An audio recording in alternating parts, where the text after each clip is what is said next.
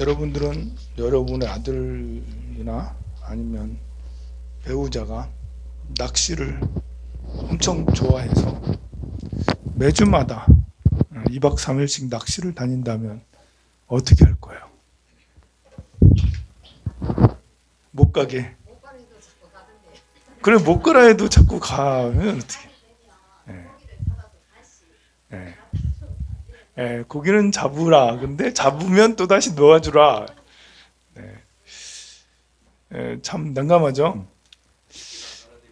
네, 미끼를 안 달아야 된다. 강태공이다. 이제 강태. 네, 강태공이 그렇다고 그랬는데 참 그 우리 절에 다니는 사람은 부처님께서 제일 첫 번째로 말씀하신 계율이 불살생인데 그 발- 불살생에는 어, 동물하고 육지에 살거나 이제 물에 사는 동물이 다 들어가니까 참 그 난감합니다. 어, 근데 또 이제 불교 부처님의 말씀은 내가 믿는 거지 네가 믿는 건 또 아니잖아요. 아무리 부부라 하더라도 가족이라 하더라도 가족은 하나가 되는 하나인 건 맞지만 그래도 생각은 또 각자마다 다르단 말이에요. 어, 내가 가진 신념을 상대에게 강요하기는 쉽지가 않아요. 어, 이렇게 내가 기가 세서 내 말빨이 잘 먹힌다면 뭐 어, 어떻게 해서라도 못하게 하겠지만 그것이 충돌이 생기고 막 이렇게 되면 음, 그것 때문에 어, 괴로움의 원인이 될 수도 소- 어, 갈등 싸움의 원인이 될 수도 있잖아요. 그런데 이제 그 말리자니 아니 그냥 이제 두, 두고 보자니 저것 때문에 계속 어떤 일이 나쁜 일이 생기면 가정에 무슨 나쁜 일 생기잖아요. 뭐 가훈이 기울거나 아니면 교통사고가 나거나 누가 아프거나 이러면 그봐 그 그 낚시에서 그런 거잖아 이러면서 낚시에서 저렇게 아픈 거 아프고 가훈이 기울고 이러잖아. 이제 이렇게 안 좋은 일 생길 때마다 자꾸 낚시해서 저런 거다고 이렇게 또 생기 생각하기가 쉬워요.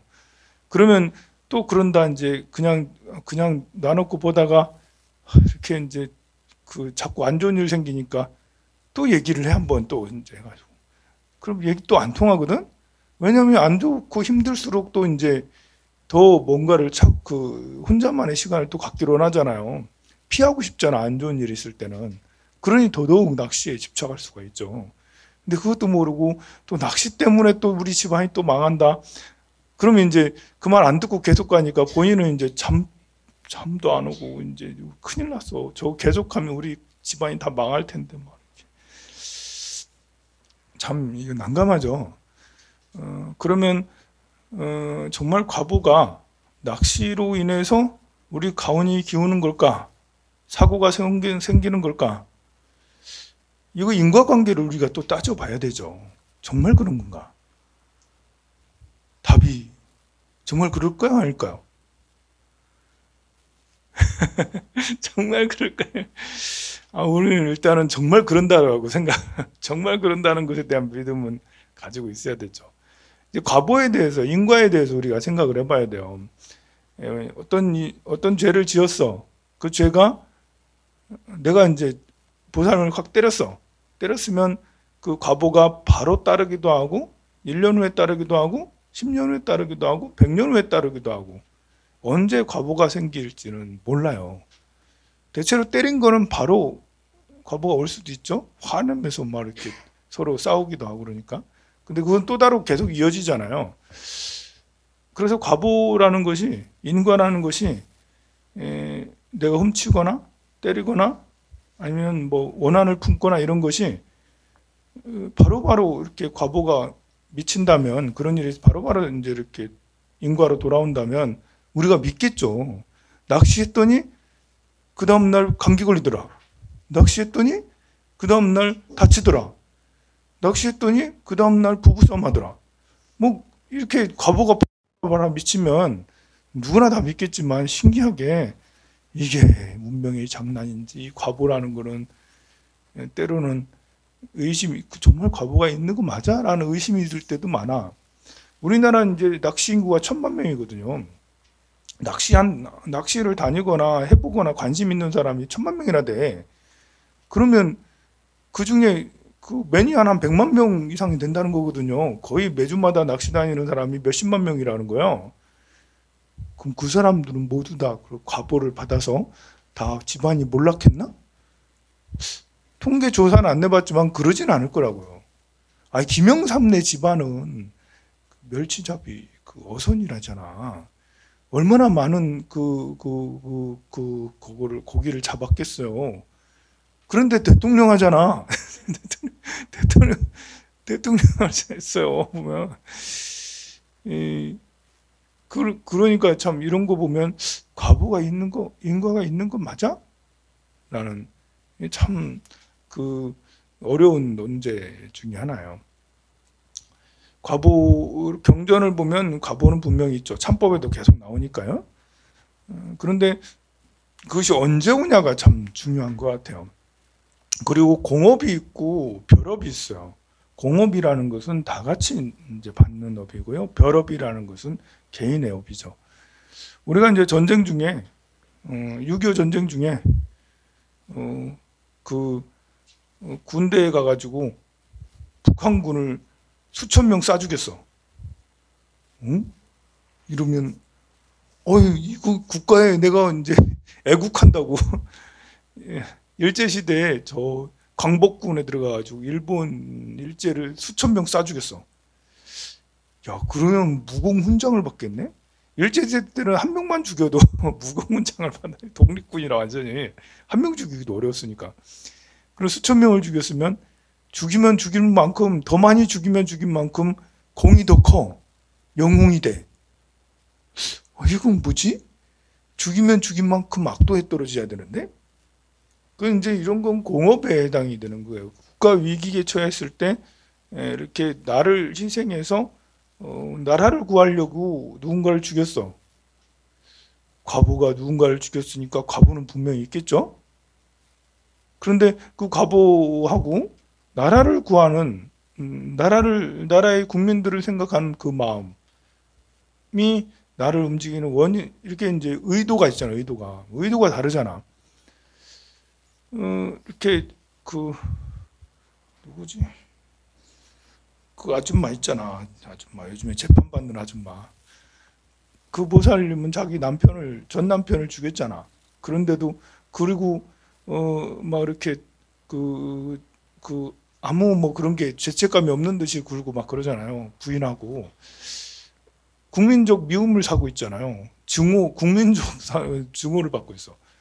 사실 이 전쟁에서는 수천 명 많이 죽이고 그렇게 하는 걸 그랬는데도 영웅 시급 받고 요거는 이제 한명 음, 이렇게 그뭘 하면 그래 이제 그러면 과보는 누가 더 클까? 과보는 누가 더 클까? 참, 이거 참 어렵습니다. 수천 명 죽인 것은 더 나쁜 거잖아. 한 명 죽인 것보다.